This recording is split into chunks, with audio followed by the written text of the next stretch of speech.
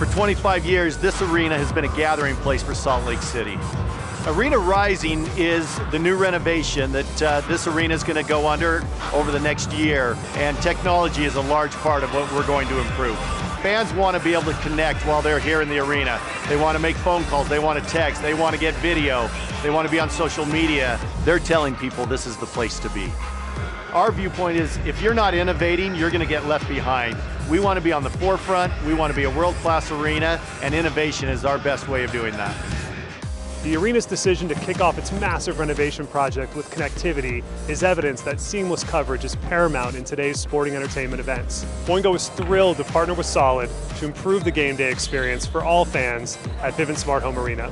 We designed each network specifically for the needs of the venue. This can mean cellular coverage for the wireless carriers, public safety for first responders, or Wi-Fi to provide connectivity for fans and support operational needs of the venue. Solid is very proud to be partnered on this project with Boingo to provide a truly cutting-edge connectivity experience built to scale for the future. This technology has many advantages for any large venue that needs to improve their emergency preparedness strategy.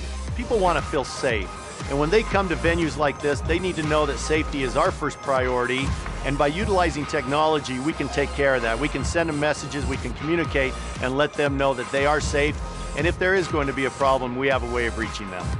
For today's sports fans, connectivity is an expectation. Like running water or electricity, venues can't afford not to have it.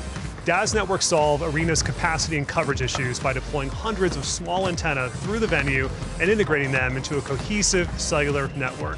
Whether at the height of the game, during a timeout, or at halftime, you never have to worry about getting connected.